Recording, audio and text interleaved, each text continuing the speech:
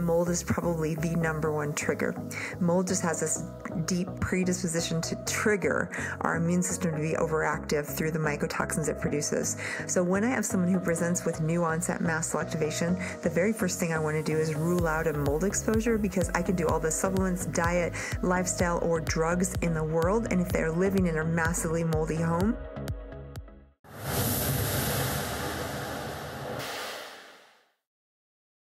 Dr. Jill Carnahan, welcome to the Healthy Skin Show. It's an honor to have you here. Thank you. It's an honor to be here. So, I thought you would be the perfect person to maybe ask a little bit about MCAS or mast cell activation syndrome. We have not really talked about it on the Healthy Skin Show. I have spoken about histamine intolerance. Um, before because I do see a lot of clients that struggle with this, especially those who are struggling with like chronic hives and dermatographia and whatnot. But I feel like MCAS is a completely different, for a lack of better word, beast of a condition, unfortunately. Um, do you want to share a little bit about what exactly is MCAS and what makes it different from histamine intolerance? I love that you're going here because I do think this is number one, it's absolutely increasing in prevalence right now. Like a lot of people, COVID really stirred up our immune systems, and that was one just one more infection that can cause MCAS, which I'll describe in a moment. But obviously, many, many people affected, and so many, many, many more people are affected that got their mast cells irritated by this virus and that are now still dealing with a mast cell activation. So let's just talk about first what is it. So in medical school, we're taught about mastocytosis this is a proliferation of this one type of primordial immune cell called a mast cell that throws out all kinds of things like prostaglandins and histamine, and all these things create inflammation. And they're supposed to protect us from bad bacteria and infections and uh, chemicals and toxins and things. So they're doing their job. But the sad thing is now in our toxic world, we have so many chemicals and so many triggers like mold or chemical exposure or metals or parasites or COVID or other infections that are triggering those mast cells. So we went from mastocytosis being quite a rare thing where someone has a proliferation in their bone marrow of the type of cells, almost like a precancerous type of thing. That's not what we're talking about. It's not a cancerous thing. It's not a proliferation. It is literally your own mast cells that we all have being overly stimulated to become activated. So what happens in these patients, they could still have a larger number, but for the most part, they're not having excessive numbers. They're just having excess activation. And again, our mast cells are trying to protect us. So they're doing what they're supposed to do. But unfortunately, in our common world right now and post COVID, a lot more toxins, triggers, infections, even EMFs, stress, lack of sleep, those kinds of things can also trigger mast cells through the epinephrine and through the HP axis. So what we're seeing now is this epidemic of mast cell activation, and it particularly because the mast cells have their most common um, well, I should just say the most uh, fix, the most uh, a place where they're most likely to reside is in the skin. I said that kind of took me a while to say it, but bottom line is in the skin, they manifest in the skin a lot. And I personally know this well because I grew up with severe eczema, which is a mast cell derived disorder. And then when I got sick with cancer, chemo, all that kind of stuff, it affected my skin. I had horrible acne. And then when I had mold related illness, so even though now my skin's okay, I've been through a lot with like literally red, puffy circles around my eyes, horrible eczema where I would scratch till I bled, and um, a terrible cystic acne during mold. So I have had my share of skin disorders, and many times it was related to mast cell activation. And is this something? Because I always think of mast cell as sort of a, a higher up on the severity totem pole compared to histamine intolerance. And I think people sometimes get them confused. Is there do you have an easy way to maybe help people differentiate between the two? Because I think sometimes, you know, when we're trying to do the the search ourselves yeah, because yeah. we don't have a physician or a partner to help us we go down rabbit holes and and sometimes can start to think we have something that we might not have. And i feel like you got to be you don't want mast cell activation. So we don't want to go there unless it's really what's going on Got it. Yeah. So a couple things. So histamine is one of literally hundreds, maybe even thousands of chemicals that mast cells produce. So the histamine bucket is a much smaller derivative. It could be kind of under. It definitely comes from mast cells as one source. And when you think about histamine intolerance, you think about a couple things. First of all, where's the source from food? So if you have a lot of food in your diet that is high histamine, which comes from amines, which is from proteins that are broken down. So fermented foods, foods that are left over or sitting out, like a protein that would be, you know, cooked fish that's left over or maybe not uh, cooked immediately after catching it. Those are the kind of things that can produce more histamines. That's one source. If you body from genetics or otherwise, you maybe have methylation issues or low DAO and you can't break it down, that's another reason. So you might have not a high level in your body, but you can't break it down well. And then other things is when your mast cells do, for some reason, some exposure, some trigger, produce more histamine. So production, too much production, too much exogenous in, uh, ingestion um, and not breaking it down, those things will lead, some uh, compartment of those will lead to excessive histamine. And again, that can present with skin, it can present with rashes very, very commonly on the skin when you think about mast cell activation, it's a bigger bucket. It's a bigger deal, like you said, and it would involve, by definition, more than one system. So if you only have a skin manifestation or you only have a gut manifestation of histamine intolerance, that may be the histamine intolerance or the poor breakdown, the excessive ingestion, or the genetics. But if you have multiple systems like brain fog, leaky gut, um, excessive um, heartburn is a histamine thing skin issues, rashes, eczema, acne, um, or maybe heart palpitations, or maybe you have, um, I could name all kinds of systems because the mast cells can really affect almost uh, lungs, are a big one. So, lung inflammation, asthma, shortness of breath, sinus congestion, inflammation. So, the mast cell bucket is going to affect more than two systems. And is there a criteria by which physicians are supposed to diagnose this? Mm-hmm. Yeah, so there's a wonderful consensus paper with the authors Tania um, Dempsey, Lawrence Afrin, and more. There's a bunch of authors. Those are two big ones that are on there. I'm sure you know who they are. And uh, it's consensus two um, for mast cell. And if you want it, you it's free online. You can look it up. I don't have the the site memorized, but it's the consensus two statement for diagnosis of mast cell activation. And again, the authors, Dempsey is one of them, Afrin is one of them. And that's a great place to look for the actual criteria. It does not involve, the first consensus involved you must have elevated tryptase in the blood. That's a, marker that you can measure, but that's more related to mastocytosis, the first thing that I described, which is this excessive production of mast cells, not the activation of them. And so many people with mast cell activation do not have an elevated tryptase, and yet they still have the disease. So they created this consensus too that really just involves the clinical presentation more than one system, and then a response to treatment, which is histamine blockers, mast cell stabilizers, natural anti-inflammatories. And again, we can talk about all those if you want. Um, and and as people respond, then we know that's a clinical diagnosis. So it technically is a clinical diagnosis that does not require blood or urine test, although we still often do um, some of these blood and urine tests to determine. This episode is brought to you by my skincare line, Dermaquell. The beauty of these skincare products are that they are especially crafted for those struggling with chronic skin rash issues based on my research and clinical experience from my private practice. They focus on organic ingredients that are clean, like zinc, aloe, and hemp oil, that support and calm rashed, dry, angry skin. There's no unnecessary chemicals or additives that can further dry out your skin or mess with your hormones. And I'm so excited for you to add these creams into your routine. Check them out at quellshop.com and use the coupon code GET15 off to get 15% off your first order. I'll put a link in the description below. And now let's jump back to the video. And you mentioned COVID earlier, and obviously mold can be another factor. What are some environmental triggers that environmental, but also, like you said, there can be maybe pathogens involved with this? What are some triggers that could trip you into this place of MCAS versus, you know, as you were saying, with histamine intolerance, it could be coming just from high histamine foods that you're struggling to break down. There can be obviously uh, certain gut bugs, I've talked about this on the show, can produce histamine in the GI tract. So we can overload our bucket with uh, unfortunately not that many things, but there's some I think more distinct triggers for MCAS that are environmental um, that you could share.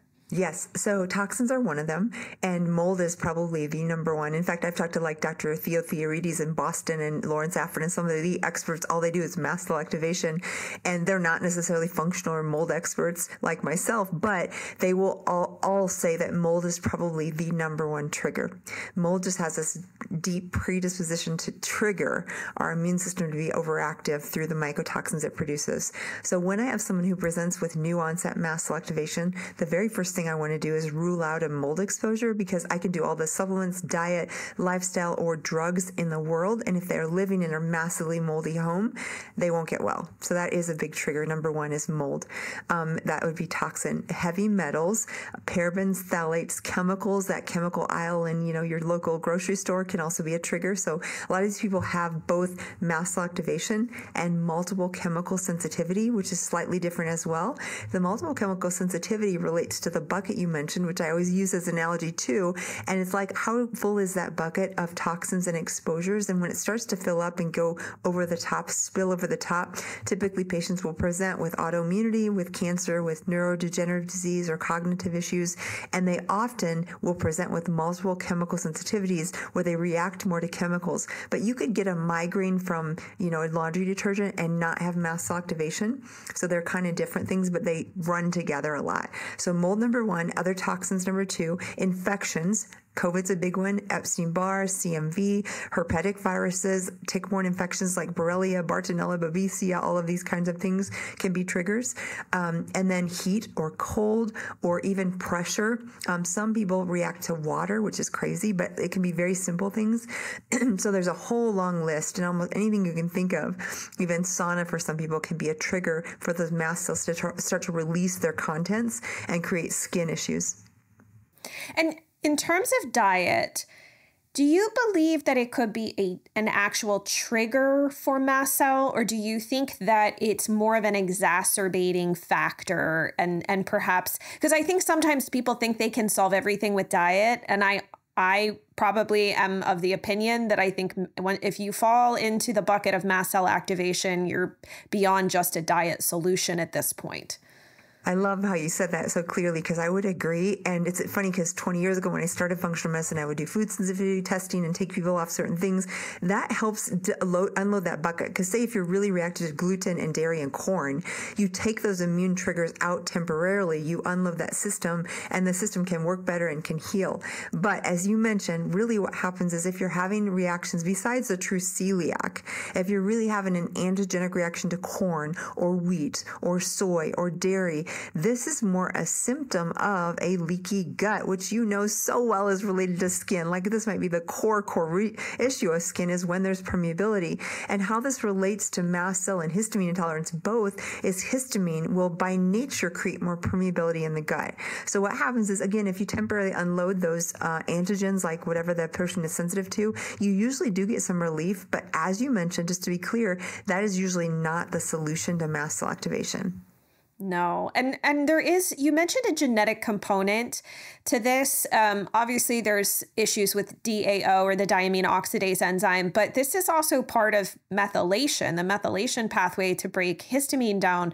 So, do you tend to see there being a genetic component with a lot of your patients, and is that a differentiating factor between maybe why one like does it matter is that why one person may be more prone to develop mast cell versus another person Yes, and I'm actually glad you mentioned this because there's all the methylation, the SNPs, and there's about three or four, maybe 10 of them truly that can relate. So that lays down a foundation for you to have a less threshold to get to mast cell activation. So, like for me, born on a farm, chemical exposures, mom probably had some issues in utero, whatever, but I had eczema from basically from birth. So, from birth, I had this genetic predisposition towards histamine intolerance and mast cell activation. Um, and part of that was the genetics because obviously I wasn't born totally intolerant to every food. So all those things played into that. But there's a KIT gene, KIT, that can be tested through any lab. And this is a high, high, high prevalence with mastocytosis. So there's actually a couple of genes that are really like almost diagnostic of the more severe forms of mast cell activation and mastocytosis. And KIT, KIT happens to be one of them. So I, had a few, oh, I was, I was just going to say I had a few, yes. few, patients where we're looking at all this and we're doing all the right stuff and they're not getting better. And those are the ones that typically have that mutation. Interesting. And with does the exposure to COVID in any way, we'll just say whether you come in contact with the virus yourself or in some other fashion. I feel like we have to be careful now of how we discuss this, unfortunately. But why do you think that that that some people are starting to develop hives afterwards that are uncontrollable so chronic they, they end up with chronic urticaria um, or could develop mast cell from that exposure yeah, so gosh, there's a lot going on there. I will say the spike protein is a problem. There is just no doubt with the research that's out now. I can freely talk about it because the evidence shows this is true. And whether you, um, and again, it can be a very mild case. The latest research from the CDC says one in five adults uh, have long COVID symptoms, which could include mast cell activation, could include brain fog, could include, and I really believe as I see a lot more long COVID patients, meaning more than three months of symptoms after a case of COVID. And again, many times this is a very mild, like I, I could barely tell I had a cold or a flu kind of thing. Lately, the variants that we're having are pretty mild cases, but people will still have a very significant, long, extended thing. And most of those mast cells are involved. And like I said, uh, one in five is a statistic statistic from the CDC. And part of this is because uh, the spike protein happens to be encapsulated in our macrophages as they're trying to get rid of it. And a lot of times the spike protein isn't cleared well, and it is like this ongoing trigger for the immune activation. So they're getting this innate immune activation, including mast cells, and this inflammation. We can literally measure the cytokines in long COVID and see the pattern. So um, interferon gamma is one of them, TNF alpha is one of them, and I'm measuring those in patients. So the ones with long COVID have a pattern of innate immune activation. And at the root, among other things, is the spike protein kind of contributing to this. So until their cells actually get rid of the spike protein and die off, they often will have residual symptoms for a very long time. Mm. This is just so interesting because it's so different, and it's one mm-hmm. of the mm-hmm. reasons. Oftentimes, I've I'll get requests from folks who want to work with me. They're like, "Do you do mast cell?" I'm like, "No, uh-huh. No, you need it's to complex. find it's very complex. yeah. And also I do feel like I don't know your opinion, but you know, my having a dad that was a doctor and and seeing so many people in various states of suffering and I think, you know, we obviously want to talk a little bit about when you get to a place where you don't have a lot of hope because your health is not great, but I do think there can be a time and a place for medication and supplements and I think sometimes in the functional integrative space, uh, I think sometimes people like to say medications are bad, but I think where mast cell, like in the case of mast cell, I think sometimes those medications can be helpful because there's no amount of quercetin and stinging nettles that's going to help you in a significant way. So, are there some options or some tools that if somebody is struggling with this that they should look into that could be helpful like medications certain maybe certain nutrients or certain types of supplements or even a life and lifestyle changes that may be helpful yeah, I'm so glad you said that because I agree. I always try to do the most natural intervention first, but when I'm dealing with mast cell activation, the standard is layering interventions because patients with just, I love quercetin. It's my first line thing. I love that. But very frequently, that alone is not enough for the really sick patients. And so we're layering H1 blockers H2 blockers, mast cell stabilizers. So that would be something like um, Zyrtec, um, um, montelukast, and then there's something called ketotifen that can be compounded really effective. Um, I wrote an article about low dose naltrexone because it can actually alter the innate immune function. So that's a newer one that can help. And literally, many of these people, in order to get them stabilized, they're on two, three, four, five medications. Now, the tricky thing is the commercial, a lot of times they will tolerate the commercial formula for the antihistamine, but very frequently they're reacting to the polyethylene glycol in that conventional medicine. So the other thing that happens is a lot of times we have to compound them free of any sort of excipients, which are the things that just go in that capsule to make it a capsule. Um, but the patients with mast cell will react to those excipients, which are just added ingredients that aren't active. But for that mast cell patient, they're a big deal. So very frequently we have to go through and literally compound them free of anything and layer them. And I would say most of my patients with significant mast cell aren't controlled until they have three, four, five different agents. Um, wow. So it's, it's a really big deal. And you're right. It's, but it's life, it can be life threatening. I mean, it really, really can be serious. So um, steroids, again, I do not like steroids, but in this case, that can be temporarily also really profound. And then there's some big guns, some immune modulating drugs like Xolair that can also be really, really helpful in the severe cases. And again, sometimes I've seen those be life saving because this can so affect the gut. In fact, my preface in my book is about a patient of mine that had mast cell and she literally died in her 20s. And I kind of started with that because the truth is, the bigger picture in this, um, she went on to literally create a foundation and like her life lived on after her. And I loved that story because it showed my humility as a physician. I can't cure everybody, right? And, and I know that. But if I can bring hope and this deeper meaning and purpose through our suffering, to me, sometimes that's as important as the healing.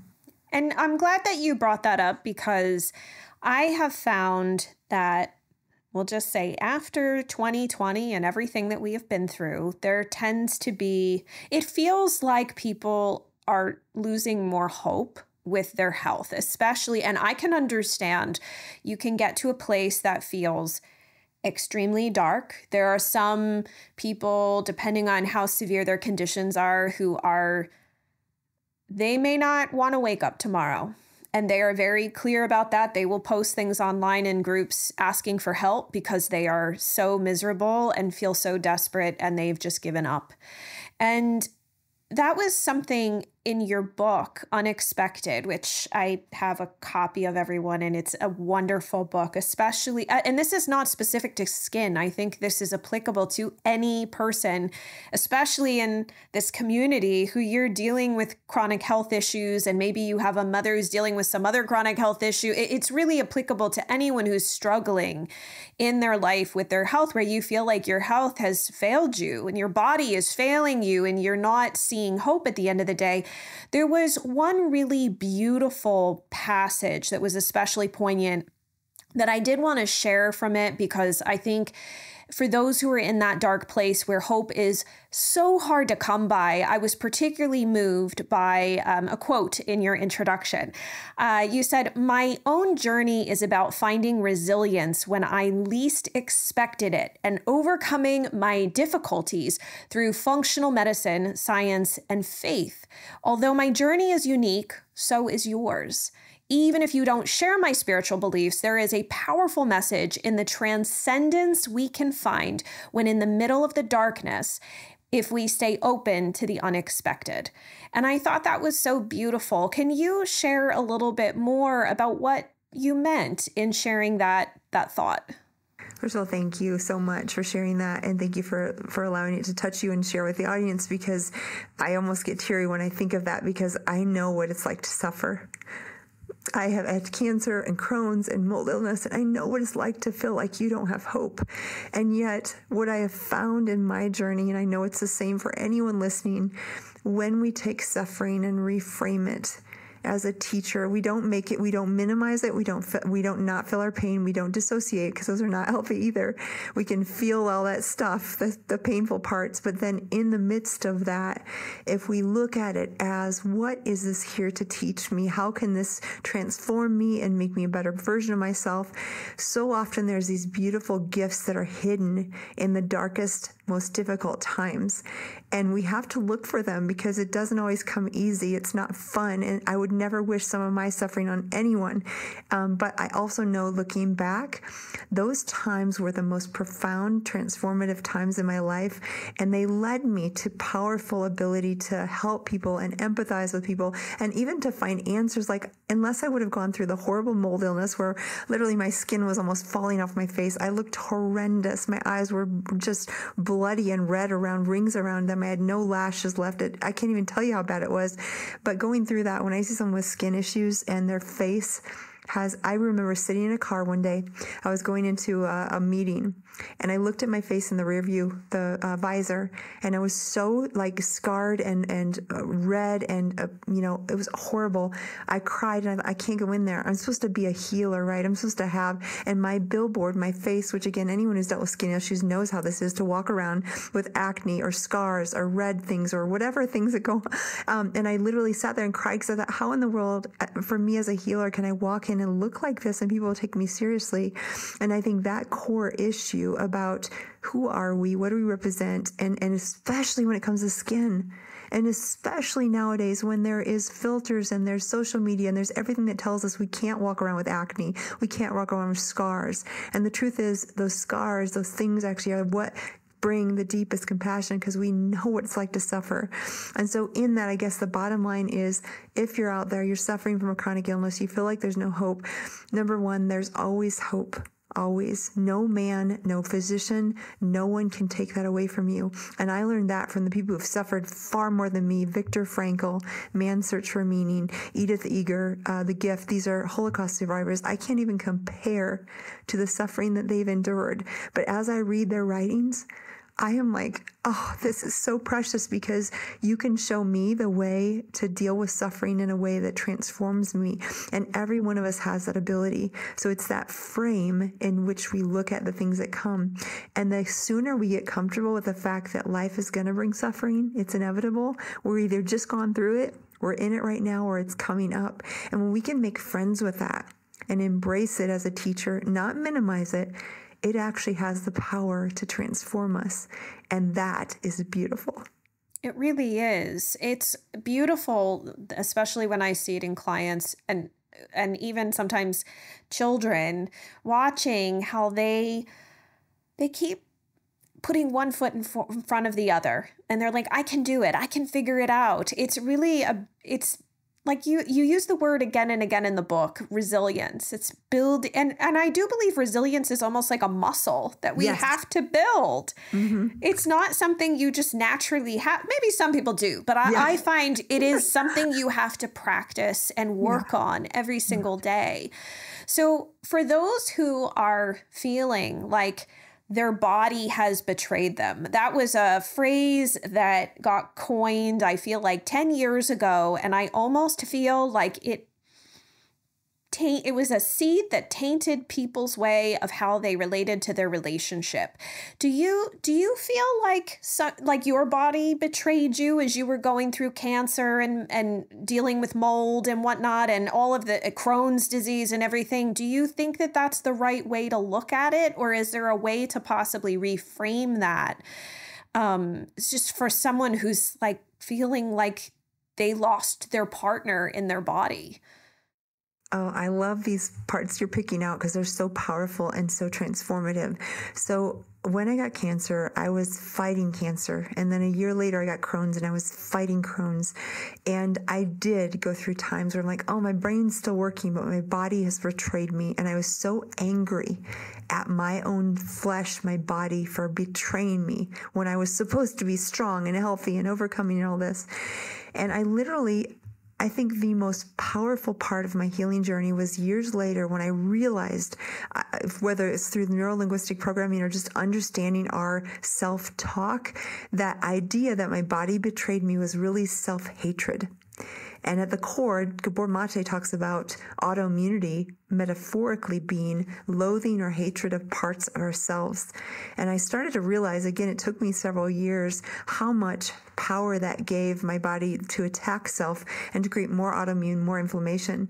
So I had to change that and when you want to change that programming, the first thing you have to do is trust yourself because when you have that, like, oh, my body betrayed me, I'm so angry, you're not trusting your innate given feelings, symptoms, emotions to guide you. You're just suppressing them and shutting them down because they're bad and they're hurting me and they're this. But what I had to do is kind of go out from dissociating. Before that, I lived from my head up and was all about the analytical mind. And I just said, shut up, body. You're not behaving. You know, you don't have any uh, right to talk to me. But I had to make peace with that, that intuition. And that intuition, had I listened years before, might have told me that I was taking on too much and that I was an incredibly stressful residency and all the things that led up to my cancer, I could have maybe heard the messages that my body was telling me through somatic symptoms, but I didn't. I suppressed it. I was like, shut up, you're betraying me. So, in order to heal, number one, I had to trust my intuition, trust my body, my physical body, saying, oh, I'm having a little heartburn. I wonder if that's like, you know, what what is that telling me? Or, oh, my stomach hurts. I'm nauseous. Maybe this isn't a good situation or a good relationship or a good, you know, whatever environment. So I started to first trust my body to tell me the clues that I needed in order to heal, in order to live well. And then, only then, can you love yourselves, love your body completely. Because if you don't trust yourself, you can't love yourself. And we talk about self love, self compassion. I think that's one of the most powerful things of healing. But it starts with trusting your body and listening to the signals that the body gives you about what relationships, what work environments, what physical environments, what foods are good for you and what are not good for you. And when you can trust yourself, then and only then can you start to love all of those parts of yourselves and integrate all of those parts, the ones even you've relegated to be bad or not good or not good enough or not worthy. And that's when we can experience true, profound healing. Well, I just want to thank you so much for not only coming on the show because I know you're extremely busy and we went back and forth for a long while trying to even just like get this date booked, but also being so willing to share parts of your story that most people want to hide. They want to they they're like I went through it. I don't want to talk about it. Yeah. We're going to keep it locked over there. Nobody's going to know that that even happened and you are sharing not only the physical manifestations of what you've gone through, but also the emotional and mental piece of that. And you have this really interesting perspective because you experienced it as a patient mm-hmm. and you see it on the other side as a physician. And I know that that's one of the reasons that so many of your patients love working with you because of your level of compassion and empathy that you have for them so that they don't feel like they're alone. Um, so I just, first of all, wanted to thank you so much again for being here and to remind all of our listeners to grab your book. It's called Unexpected. I believe it's available everywhere, correct? Yeah. Mm-hmm. And um, you also do take patients. I know that. Um, how can everybody find you? And you have a great podcast too for anybody who is a practitioner or really interested in functional medicine. Um, so you're you're an amazing Thank teacher.